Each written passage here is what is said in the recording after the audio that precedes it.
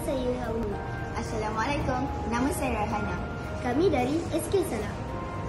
Malaysia adalah sebuah negara yang kaya akan kepelbagaian kimia dan biodiversiti.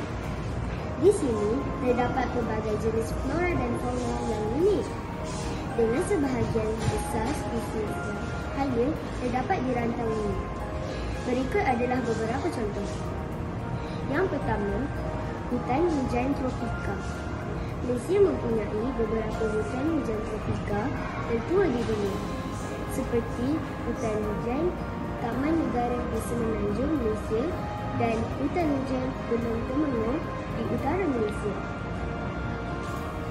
Hutan-hutan ini adalah rumah kepada berbagai spesies tumbuhan dan haiwan yang unik. Yang kedua, flora.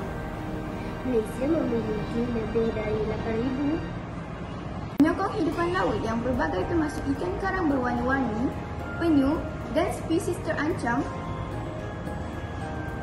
dan spesies terancam seperti paus. Kelima, konservasi.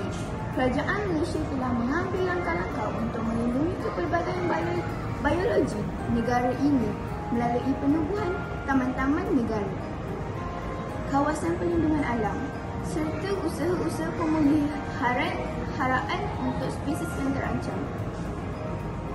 Penggunaan keenam, penggunaan kimia. Malaysia juga mempunyai industri kimia yang berkembang pesat. Yang termasuk pengeluaran minyak, kelapa sawit, getah asli dan pelbagai produk pertanian. Sementara kemajuan ini memberikan manfaat ekonomi, ia juga menimbulkan cabaran dalam peliharaan alam sekitar. Kesemua ini menjadi 8,000 spesies tumbuhan berbunga, termasuk spesies endemik seperti Rafflesia, bulu terbesar di dunia, dan Nepenthes, sejenis tumbuhan pemangsa serangga.